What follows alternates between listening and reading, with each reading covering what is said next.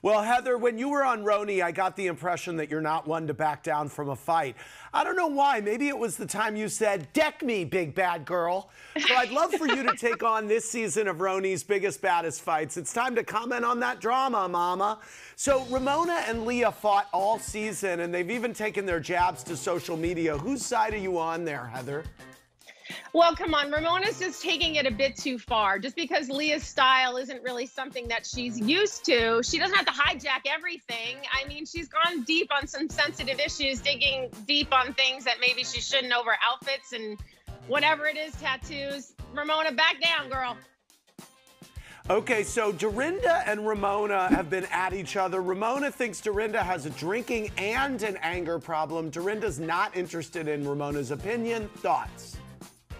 I love it when Ramona tries to dig deep and go deep. I mean, her delivery is off every time. And it's hard when Ramona can be such a to take, you know, real advice from her. So, so Dorinda's just not having it. It's, it's no open to listen. Um, Lou was aghast at the idea that she needed to uh, pay Sonja for being in her show more. What, what, was your reaction to that fight in the Berkshires? You were you were there the next night. Yeah. Yes, I was there. I mean, hilarious. It's like the old Countess is back. We all know she's cheap.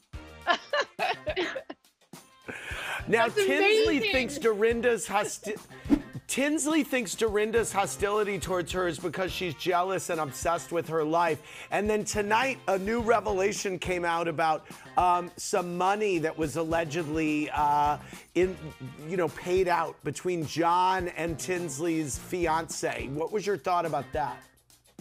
I mean, again, like Tinsley can't win with Dorinda. She's going to just keep trying to expose all of these, you know, realities that, you know, Dorinda really believes about Tinsley. So Tinsley can keep trying on the treadmill with Dorinda, but she should just give up, you know, get off because, you know, Dorinda doesn't like her. So there's no winning. All right. Thank you very much, Heather T.